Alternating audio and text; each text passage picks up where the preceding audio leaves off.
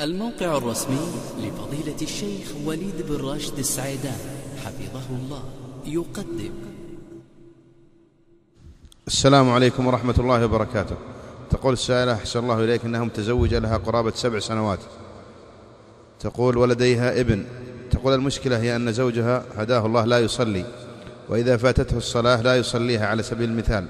تقول إلا قليلا. وفي رمضان يصلي الفجر والظهر والعصر والمغرب والعصر. لا والمغرب يستيقظ بدون منبه للإفطار ويصلي مع الجماعة المغرب. ولا أعلم هل هو يصلي أم لا. تقول المشكلة الأكبر أنه أكرمك الله يجامعها في نهار رمضان وليس مرة ومرتين بل تصل إلى ثلاث أو أربع مرات في الشهر. تقول وكل سنة هكذا إلى الآن لم يتب.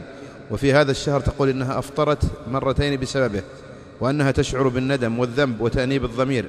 تقول لأنه يداعبها ويتحرش فيها حتى تستسلم ولا تعلم ماذا تفعل. تقول وحجته بذلك أنه بالليل لا يأتي لأنه مشغول. تقول أنا لا أعلم كم أفطرت من السنوات الفائتة وماذا أفعل وهذه السنة تقول عليها يومين. هي وزوجها ولا نستطيع أن نعتق رقبة ولا صيام شهرين فماذا يجب عليهم؟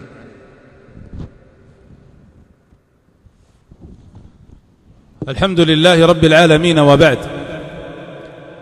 لا يجوز للمسلم أن يتخلف عن صلوات الجماعة لأن الصلاة من أركان الدين من أركان الإسلام ومن مباني وأحد وأعظم مبانيه الكبار.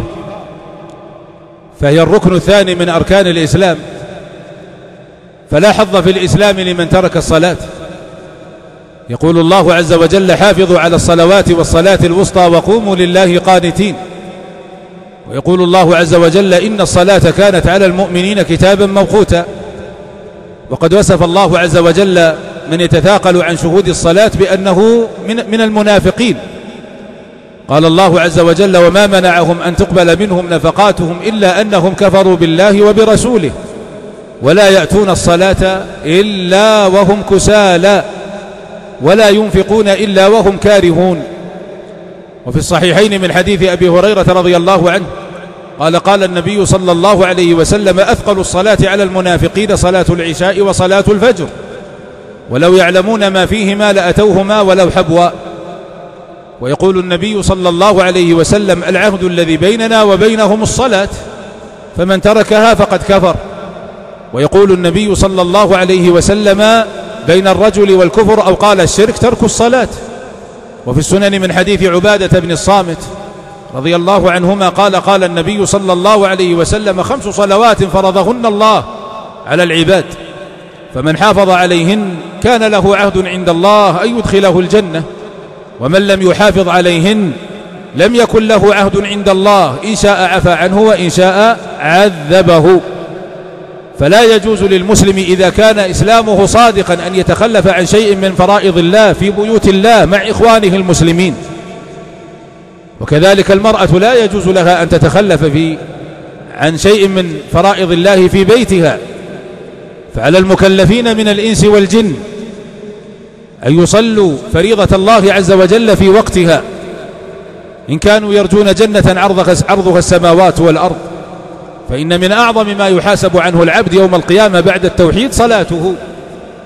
وأول ما ينظر في عمل الإنسان إنما هي الصلاة. فمن صلحت صلاته نظر في باقي عمله ومن كانت صلاته فاسدة غير مقبولة رد عليه باقي عمله. فعلى العبد أن يتقي الله وأن يعلم أنه موجود في هذه الحياة لطاعة الله وعبادة الله وامتثال أمره. وأما ما حصل منكما هداكم الله من الجماع في نهار رمضان فقد ارتكبتما كبيرة من كبائر الذنوب. فإن الجماع في نهار رمضان محرم بإجماع المسلمين. يقول الله عز وجل وكلوا واشربوا. يقول الله تبارك وتعالى أحل لكم ليلة الصيام الرفث إلى نسائكم. هن لباس لكم وأنتم لباس لهن. علم الله أنكم كنتم تختانون أنفسكم فتاب عليكم وعفى عنكم. فالآن باشروهن. أي في الليل وابتغوا ما كتب الله لكم وكلوا واشربوا حتى يتبين لكم الخيط الأبيض من الخيط الأسود من الفجر ثم أتموا الصيام أي بترك الجماع والأكل والشرب. وفي الصحيحين من حديث أبي هريرة قال جاء رجل إلى النبي صلى الله عليه وسلم يقول يا رسول الله هلكت وأهلكت. قال وما أهلكك؟ قال وقعت على أهلي وأنا صائم. قال فهل تجد رقبة تعتقها? قال لا. قال فهل تستطيع أن تصوم شهرين متتابعين? قال لا. قال فهل تجد ما تطعم به ستين مسكينا? قال لا. الحديث بتمامه.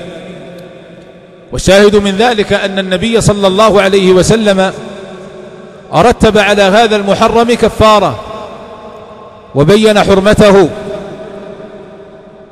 فهو محرم بكتاب الله وسنة رسوله.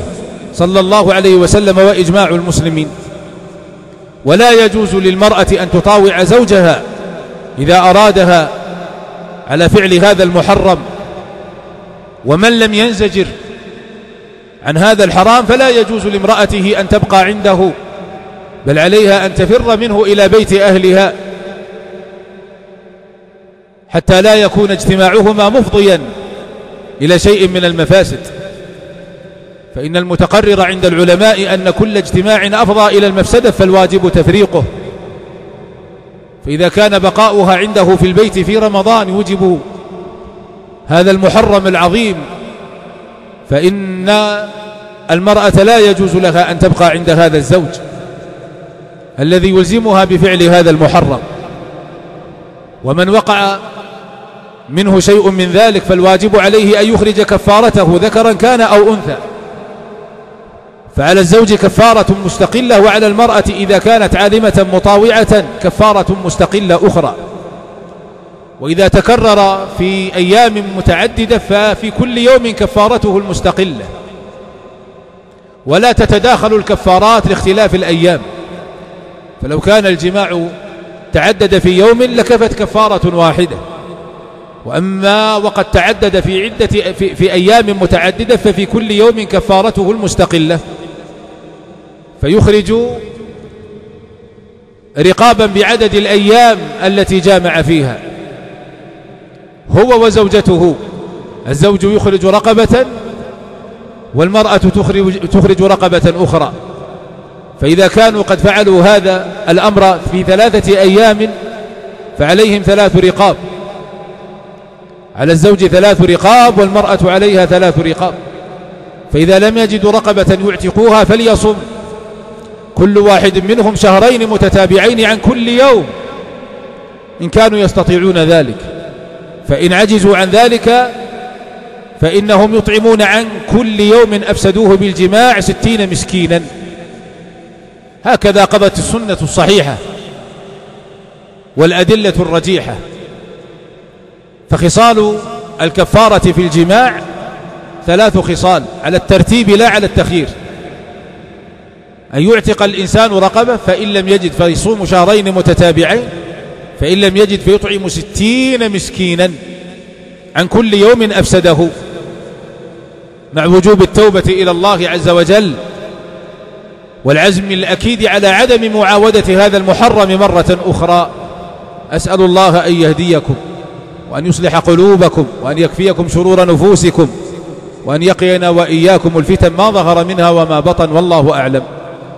فإن قال السائل أنا لا أعلم عدد الأيام في السنوات الماضية فنقول يجب عليك أن تخرج من الكفارات ما يغلب على ظنك براءة ذمتك به. فإن كنت أيها السائل ترى أنك أفسدت ثلاثة أيام فثلاث كفارات وإن كان يغلب على ظنك في الرمضان الذي قبله أنها يومان فعليك كفارتان وغلبة الظن كافية في التعبد والعمل. لكن لا يجوز أن تبقى تلك الأيام التي أفسدتموها في رمضان بلا كفارتها. بل عليكم أن تجتهدوا أنت وإياه في تذكر ما أفسدتموه من الأيام حتى يغلب على ظنكم عدد فتخرجون من الكفارات بقدر هذه الأيام التي أفسدتموها والله أعلم.